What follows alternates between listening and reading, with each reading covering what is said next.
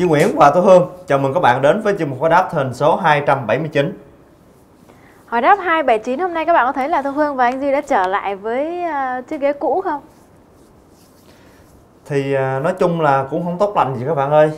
Chiếc ghế kia bị hư rồi.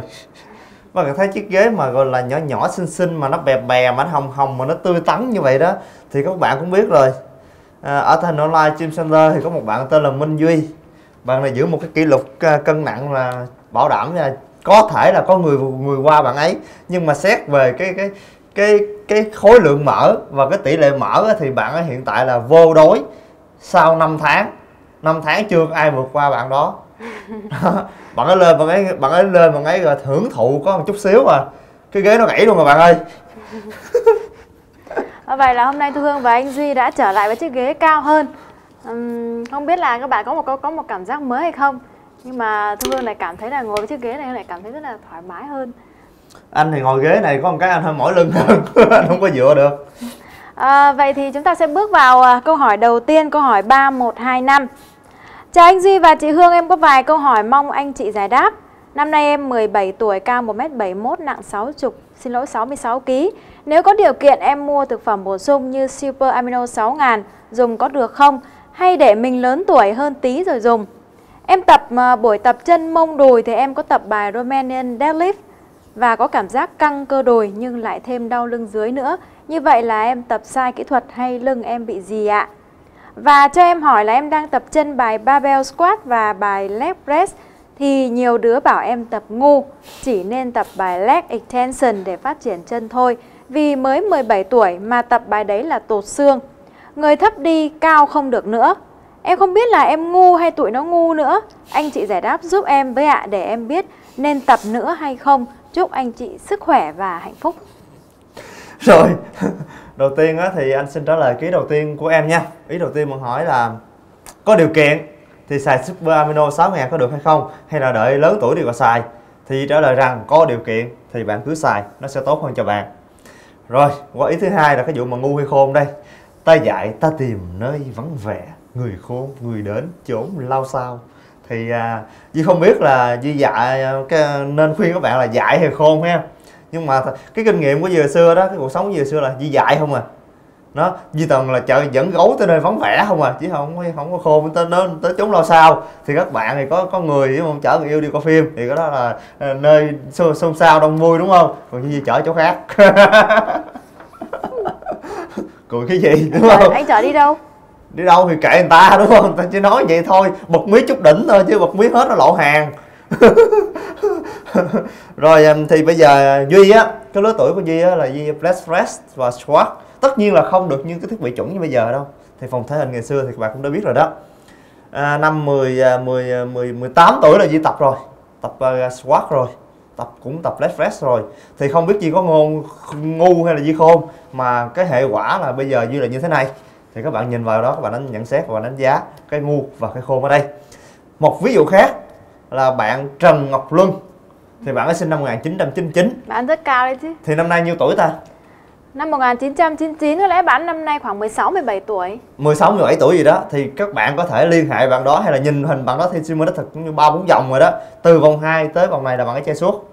Thì các bạn thấy là cái cái thứ nhất là xét về cái cơ chân của bạn ấy cũng là một trong những cái bộ phận tốt bộ phận tốt trên cơ thể của bạn. Đó, rồi bạn à, cao thì cao hơn Di rồi đó. À, Di có 1m72 thôi bạn đó bèo bèo trong phải mét trên mét 75 đó. thì bạn nhìn thấy một cái cái cái cái cái thân hình của một người học sinh một người học sinh à, 10 mười mấy tuổi ta? 16 tuổi. 16 tuổi là bạn ấy tập hồi năm hình như Di nó nghe nhớ là 14 tuổi. Và Di nghĩ là 14 tuổi chắc mấy bạn ấy cũng gánh đùi rồi đó. Bạn ấy cũng có đạp đùi rồi đó thì bây giờ cái cơ thể bạn ấy là như vậy. Thì thì cái việc mà khôn hay ngu thì các bạn thừa thông minh à, thừa tỉnh táo và thừa sáng suốt để nhận xét. Đó, chỉ nói vậy thôi. À, câu hỏi tiếp theo câu hỏi 3126 à, ờ, con là thằng nhóc đặt câu hỏi 3124 lần này con sẽ hỏi một cách nghiêm túc dẹp bỏ cái chuyện ức chế thần kinh tọa qua một bên. Con đang theo dõi đại học khỏe đẹp lean body và con cảm nhận được sức mạnh tăng lên. Sau khi tập xong con dùng một gói lean 4 trái nho mỹ nho mỹ nhờ người thân bên nước ngoài đem về cho. Trời. Theo chú Duy như vậy có được không? Bụng con không có hiện tượng bất thường nào cả. thì không có hiện tượng bất thường là là nó bình thường đúng không? Mà nó bình thường với điều kiện dinh dưỡng vậy là quá men mà bạn sốc ăn chỗ là nho mỹ mà ngờ nhờ người thân bên nước ngoài mang về mới chịu nha. Cái này là ăn trái nho này gọi là trường sinh bất tử hơn là đầu tiên của tề thiên có trộm của tây dương mẫu nữa. Thì thứ dữ rồi mà anh xin lỗi các bạn à, trước thì bạn hỏi một câu mà anh quên, giờ anh nhớ rồi. Bạn hỏi là bạn Roman deadlift thì à, bị đau lưng. Thì vậy thì có đúng hay sai? Đúng cũng đau lưng mà sai cũng đau lưng. Bạn sai thì chắc chắn mà đau lưng rồi. Còn bạn đúng thì bạn vẫn vẫn đau lưng. Sao kỳ với ta? Đúng của đau lưng mà sai lưng là sao? Cái đau lưng của sai là đau lưng của chấn thương. Còn cái cái đau lưng của đúng á là đau lưng do FV thì cái bài Romanian deadlift nó là bài tập chính, là mông đùi sau. Nhưng mà cái cơ lưng, nó tham gia rất là lớn. Nó tham gia rất là lớn, nó có chữ deadlift mà bạn. Bài nào có chữ deadlift, bạn tập cái gì nữa, nó cũng vẫn tác động đến lưng dưới. Và thậm chí squat nó cũng tác động tới lưng dưới mà. Nó nên cái việc mà bạn bạn deadlift mà nó đau lưng dưới là một cái hiện tượng rất là bình thường. Nhưng mà bạn phải đủ tỉnh táo để coi coi mình tập có cong lưng hay không nha. Bạn tập cong lưng thì nó sẽ rất là nguy hiểm. À, câu hỏi 3127 Chào anh Duy và chị Hương Em sẽ vào vấn đề cho đỡ tốn thời gian của anh chị. Chuyện là em tập đã 5 tháng nay nhưng ngực em không thấy lên một chút nào. Có một người bạn bảo em là do đây đang là ngưỡng giới hạn sức mạnh của em. Em đẩy ngực mắc một rep được 60kg nhưng chưa tính thanh đòn. Thanh đòn thường không phải Olympic. Bình thường thì em chỉ tập 50kg được 8 cái Và em chưa nâng tạ vì có nâng em cũng không đẩy được. Phải có người đỡ bạn em bảo là bây giờ phải tập cơ tay sau và tay trước cho khỏe lên để đẩy ngực được nặng hơn thì ngực mới to ra tiếp được. Đúng là lâu nay em tập chỉ đến ngưỡng đó là hết sức. Theo anh thì thông tin này có đúng hay không? À, thông tin này thì anh không được tin tưởng cho lắm nha. Ngực bạn tập bên 6 chỗ à, tổng tổng khối lượng tạ 60 kg, cây đòn nữa là sáu mấy ký là cũng là mạnh lắm rồi bạn. Nó cái mức tạ này là một mức tạ cũng tương đối mạnh rồi bạn muốn lên nữa thì nó cũng khó, ha, nó cũng khó. Tại vì đôi khi bạn nhỏ con mà mới tập 6 tháng 5 tháng gì đó, mà cái sức bạn tới đây là tuyệt vời, rất nhiều bạn rồi nha. Đó. còn cái việc mà không có nghĩa là đẩy mạnh á, thì nó lên cái ngực nha bạn. Cũng chưa hẳn đâu, bạn phải làm sao cho ngực bạn nó được tác động nhiều thì nó mới lên cơ ngực. Còn cái này bạn nghe theo mưu kế của quân sư bạn là thôi, giờ tập tay cho nó khỏe đi để đẩy ngực. Cái chuyện này thì cái bạn đẩy có mạnh đi chăng nữa cái tay bạn đẩy, cái ngực cũng đâu có đâu có được thêm miếng nào đâu đó mình phải hiểu rõ vấn đề là tập ngực thì mình cố gắng làm sao để cho cái cơ ngực của mình nó tác động tối đa.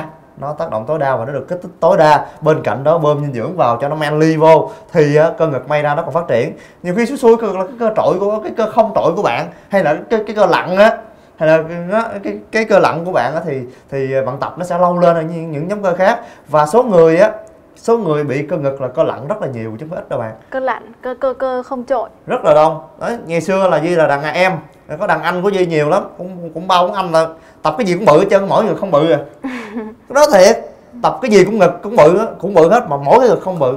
Thì thôi những người đó tự an ủi rằng thôi kệ đó tập.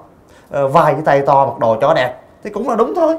Ít ra họ cũng có được những cái mục tiêu trong thể hình là bây giờ tôi tập uh, cái ngực của nó khó cưỡng cầu quá cái gì cũng bự, trong người không bự bạn. Nói thiệt bạn luôn, lưng cũng bự, tay cũng bự, vai cũng bự, mã ngực không bự. Mà nó không phải tập sai, tập vẫn đúng như thường, tập vẫn vẫn nặng như thường. Mà nó không bự là nó không bự. Đó thì cái đó là thôi. Mình đã cố gắng hết sức, nhưng mà nó không cải thiện được. Thì thôi, quên nó đi. Nhưng mà bạn phải kiểm điểm là bạn tập có đúng hay chưa nha. Chứ đó là quan trọng nhất là cái cảm nhận cơ bắp.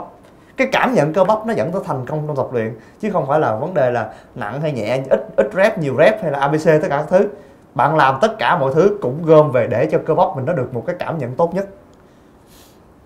Câu hỏi 3128 Xin chào anh chị trong ban biên tập. Hiện tại em là sinh viên. Em xin hỏi anh Duy là vai phải của em thì có cầu vai nhìn cũng to.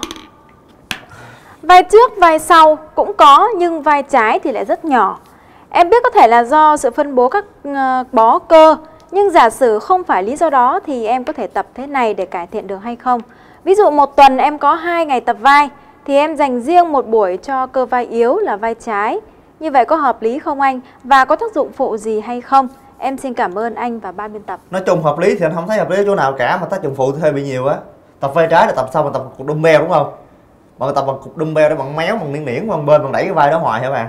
Nó thì cái việc đó sau này nó sẽ dẫn tới một cái cái hệ lụy là cái, cái nó đã nhỏ rồi còn đẻ ra tập hoài quá tải và người bạn sau này nó bị bị lệch sức mạnh, nó bị méo méo, nó không ngay nữa. Có trong giang hồ, nó tồn tại rất là nhiều bí kíp, chữa lệch cơ bằng cách tập bên bên ít á. Tập bên nè, đập đẩy ngực và đẩy bên mà thấy chưa?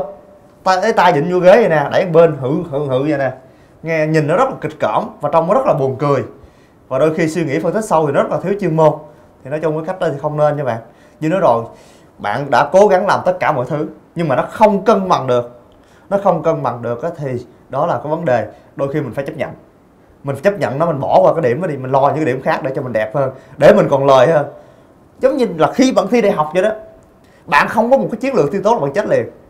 Giống như là bạn cái tật mà, mà, mà gọi là là chịu đấm ăn xôi lì trăm câu đúng không? Vô ngay câu đầu tiên không biết làm nó khó. Mà tức tức quá trời cái câu này tôi làm, tôi làm cho được mới được tức tức chịu không nổi luôn. Cái bạn ngồi bạn làm câu đó hết 90 phần trăm thời gian rồi xong mừng ra được câu đó mừng quá mừng quá.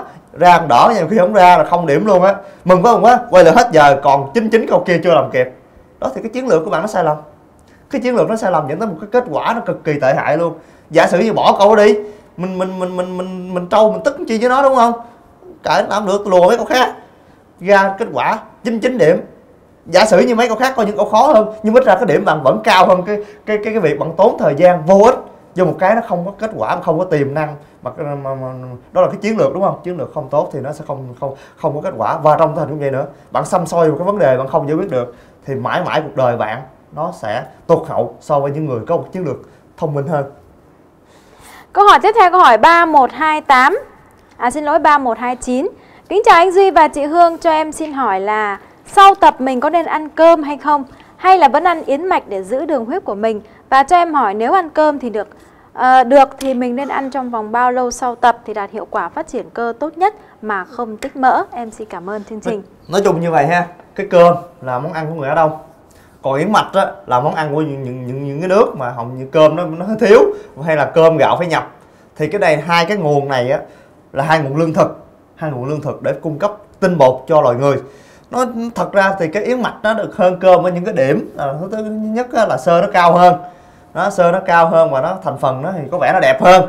Đó nhưng mà nhưng mà ăn cái này thì nên thì không ăn cái kia mà cái kia thì đã không nên ăn cái này. Bạn đã chọn yến mạch rồi thì bạn không cần phải nghĩ tới cơm. Và ngược lại bạn quyết định bữa nay ăn cơm á, thì cái yến mạch để bữa khác.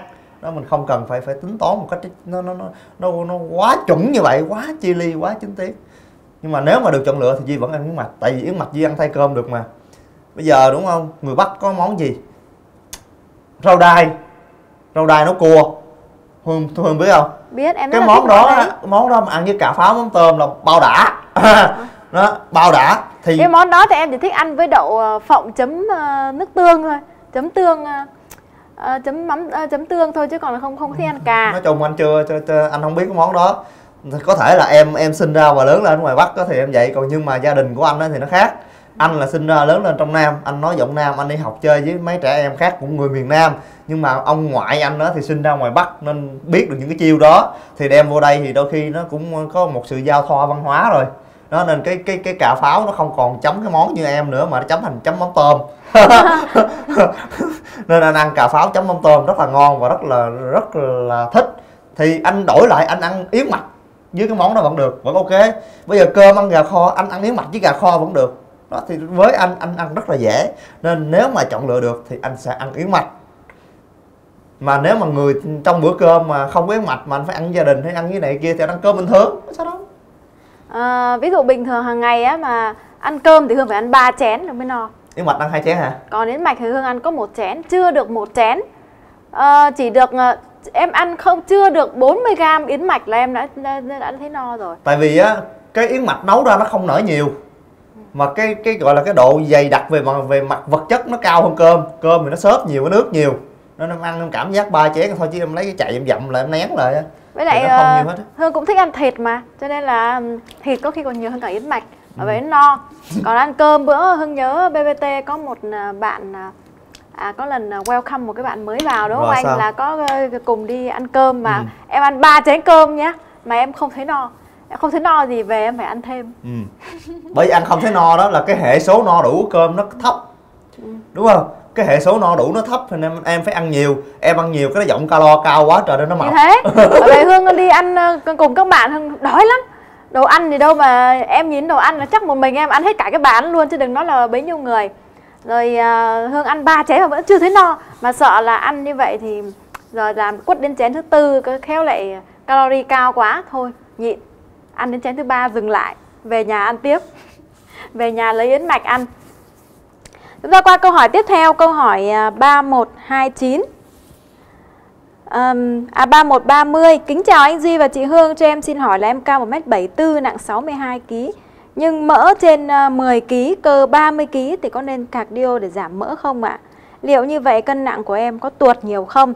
Ý thứ hai cho em hỏi là giữa CLA và carnitin thì ngoài việc hai dòng này có chức năng giảm mỡ tự nhiên Thì hai dòng này còn có đặc điểm gì không? Và dòng nào thích hợp xài trong mục đích nào là chủ yếu? Xin anh giải đáp giúp thắc mắc của em để chúng em dễ dàng chọn sản phẩm phù hợp với mục tiêu của mình. Rồi ok, sẵn sàng, rất là vui vẻ, không có gì mà ngại ngại ngùng cả đúng không? Tình trạng của mày bạn giờ là bi đát lắm. Thiếu cơ dư mỡ gì đó rồi, đó là cái vực thẳm của thể hình. Thôi bạn đừng nghĩ tới chuyện cardio hay nghĩ tới chuyện bạn cứ tập bình thường. Bạn tập bình thường cho nó nó, nó từ từ nó cũng tăng cơ giảm mỡ rồi. Đó nên bạn cứ cứ cứ để cho tự nhiên nó thay đổi chính mình. Chứ còn giờ bạn chăm chú bằng cardio nhiều quá vì cái đóng mỡ này nó sụt luôn cái đóng cơ của bạn. Nó nhất là bạn không khéo nữa bạn khi bạn cardio mà tuổi trẻ mà sung lắm nhiệt quyết lắm tập là tập bao nghỉ. Tập không nghỉ tập hoài luôn. Đó nên nó sẽ đốt đốt cơ. Nó đốt cơ đi thì cơ bạn vốn đã ít rồi nay nó còn ít hơn nên nó rất là rất là tội đó, thì bạn cứ tập hợp lý nha. Bạn có cardio không? Chuyện đó nó không quan trọng. Bạn tập hợp lý đừng bây giờ đêm cứ tập quá một tiếng, tập cường độ cao, dinh dưỡng, nạp vèo vèo. Nạp hợp lý ăn sạch nha, chứ không phải là kiểu kiểu như thương nó ăn năm sáu chén cơm hay là gì đó thì gì không bảo đảm luôn rồi, còn cái ít nữa. Cái à, cái sản phẩm là L carnitin và COA đúng không? Nếu mà bạn xài pháp banner thì bạn không, có thể là không cần nghĩ tới hai sản phẩm này. Nhưng mà bạn nghĩ tới hai sản phẩm này nó phải chơi một cặp nha bạn. Nó là bá nhai với tử kỳ đó nó nên phải chơi một cặp chứ hai cái này nó không trùng nó không có gọi là nó trùng trùng lắp nhau về mặt tác dụng. L carnitin làm chuyện L carnitin và COA làm chuyện của L của COA hai này kết hợp chung thì nó sẽ là một cái stack một cái stack phát burner mà không kích thích. À, câu hỏi một à, xin lỗi 3133 Chào anh Duy và chị Hương, hôm nay em có vài thắc mắc mong anh chị giải đáp.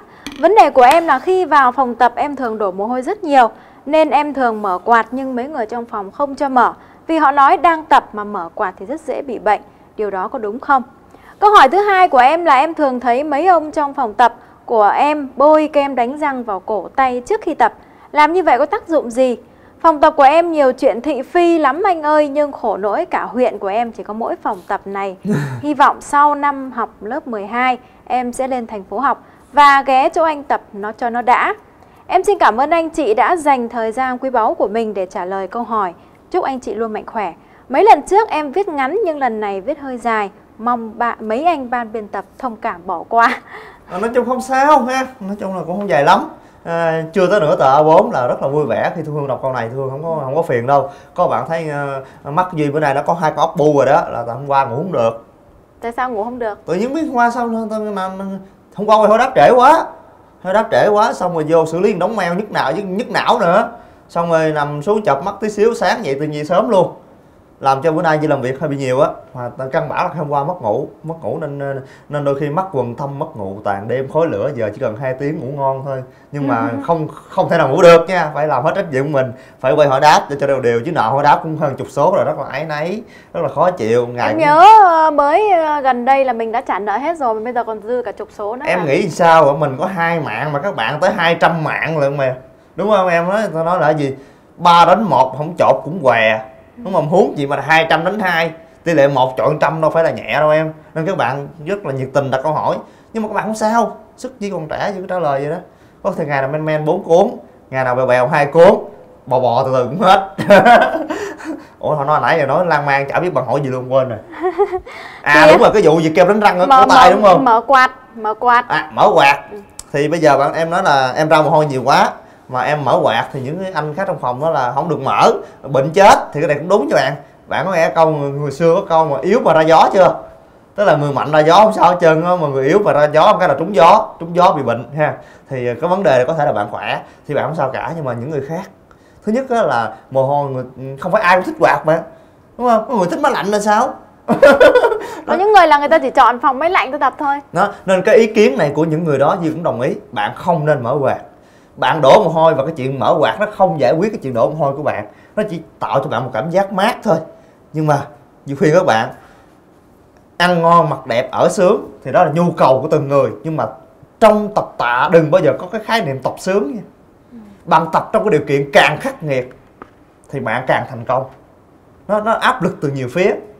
Đó, cơ thể bạn nó phải lúc đó nó phải uh, hoạt động nó hết công sức trong một cái giai đoạn ngắn như vậy thì nó sẽ tốt hơn rất là nhiều. Còn bạn tập mà ra một hôn tí xíu rồi, rồi, rồi, rồi bạn đi tắm xong ra tập tiếp hay là hay là mở mở quạt máy lên cho nó mát đó, thì duy không duy không ờ, nghĩ đó là một cái phương pháp hay một phương án hay. Nhưng mà nó đi cũng phải nói lại phòng theo online center cũng quạt một đống. Nói chung là phục vụ cho tất cả mọi đối tượng đó, không phải ai tập thể hình cũng có được cái quan điểm rắn như duy. Có những bạn vẫn thích mở quạt thôi cái bạn thích mà cứ mở thoải mái vô tư còn khi nào mà trong một tập thể thì thôi cố gắng người người chiều nhau một chút xíu để cho phòng tập nó hạnh phúc nó em vui. À, và ý của bạn là còn cái chuyện mà răng. mà bôi cổ tay anh bó tay nha vụ này anh không biết. Đó có thể là anh đoán như vậy. Cái cổ tay là nó cái cái gì kem gì kem đánh răng đúng không? Giờ nó chứa muối chứ bạc hà. Bạc hà thì tha vô da cảm giác nó ấm ấm nó nóng nóng thì nhiều khi các bạn này nghĩ là ừ, tha nóng ấm nóng để cho khớp nó trơn rồi cho máu huyết lưu thông. Thì cái đó, cái đó là suy nghĩ của các bạn nhưng mà Di cảm thấy không cần thiết làm chuyện này. Câu hỏi à, tiếp theo 3132 Chào anh chị, em có một câu hỏi muốn anh chị giải đáp giúp em. Ở chỗ em tập có anh bảo là nếu em muốn giảm mỡ bụng nhanh thì quấn áo mưa hoặc là quấn ni lông vào vùng bụng thì sẽ giảm rất nhanh. Em thì chỉ nghĩ quấn như vậy chỉ là làm bụng nóng do nhiệt thì đâu có giảm mỡ được. Liệu em nghĩ như vậy có đúng không? Và em muốn hỏi anh Duy là đối với một người đàn ông thì bụng, người phụ nữ như thế nào là đẹp? Liệu có phải cứ thon phẳng là đẹp không? Em cảm ơn anh chị, chúc anh chị một ngày tốt lành. Thôi đang đang đêm khuya giá lạnh mà à, bạn cứ nói phụ nữ đây bạn. Phụ nữ thì làm sao? Có phụ nữ ngồi ngay bên cạnh đây. Thôi phụ nữ này à. phụ gì? Như nữa rồi gái giờ mà 21 tuổi là đánh bài mà xì chết là quắt mất tiêu rồi đúng không? Cái này bạn biết hai mấy rồi chưa? Mấy? Cái này là đánh bài xong mà khỏi gần xét luôn úp bài lấy tiền luôn. Đó là biết cái này nó quắt chắc rồi. Cái cái việc mà vụ án mà quấn bụng á Di cũng giống bạn thôi không đồng tình Di trả tin. Kệ nó ai nói nói Di trả tin. Nó chả có cái luận điểm khoa học nào để Di tin vào chuyện này cả. Nếu mà quấn vậy thôi giờ ở nhà cứ quấn bụng như thôi nằm nhà ngủ nha thôi đi tập nó đẹp rồi.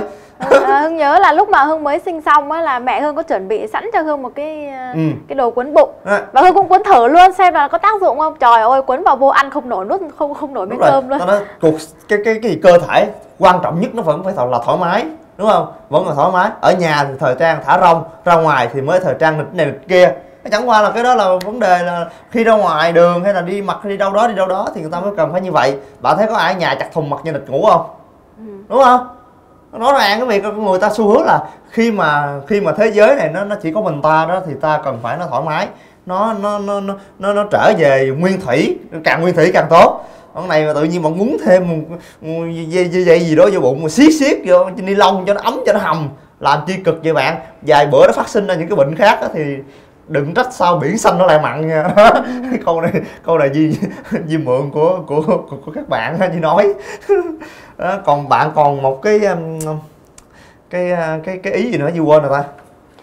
Uhm. bữa nay thiếu cáp bữa nay dân cáp bạn à, nói chung là phòng tập của bạn thì à, nói chung nhiều vấn đề phức tạp. Vấn đề đó ừ. Ừ. và lên uh, sau lớp 12 thì bạn Học sẽ nghe cho anh tập. ý trước đó nữa. Vấn đề mở quạt này rồi vấn đề bôi kem đánh răng vào cổ tay.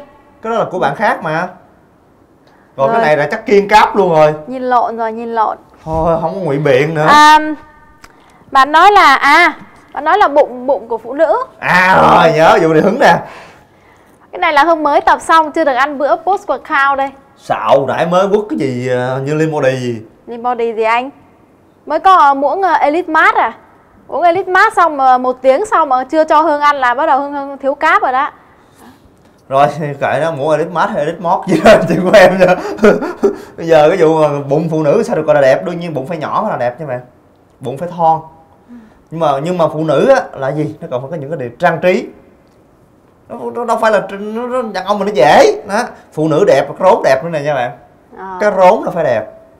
Thì bụng nó mới đẹp. Bạn hỏi gì đúng không? Quan điểm chủ chủ nghĩa cá nhân của gì là gì thế vậy đó cái rốn phải đẹp phải tròn. À, phải, phải đừng có lồi. Ờ, nói chung là phải gọi là gì? Nhìn vô nó có cái hố sâu thẳm gì đó nó nó nó nó, nó mê ly chút tóm, xíu. tóm lại là anh duy thích hố phải không? Liên quan gì đây? Là gì đấy bảo là cái hố sâu thẳm ờ, rốn đẹp là hố sâu thẳm thì, thì, thì vậy mới là, là đẹp. Như là thung lũng tình yêu vậy đó mà. Rồi da nó phải là không trùng rồi. Nói này con người nhột. Ai nhột? Không biết. Nó đâu nhột. Da nó phải thả nó nó nó phải căng ha. Mà quan trọng nhất á, cái vùng eo của phụ nữ nó chỉ đẹp khi nào cái vùng hông nó tô điểm vô.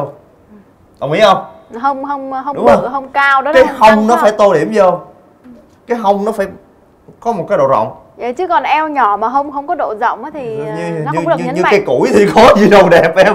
Đúng không eo người phụ nữ nó đẹp khi nào nó phải có cái điểm nhấn, nó hai điểm nhấn gì nói á là da nó phải đương nhiên nó phải căng căng đừng trùng quá ha. Nói chung là cũng không bị ghẻ nữa phải không? Cái gì vô bụng ai bị ghẻ em?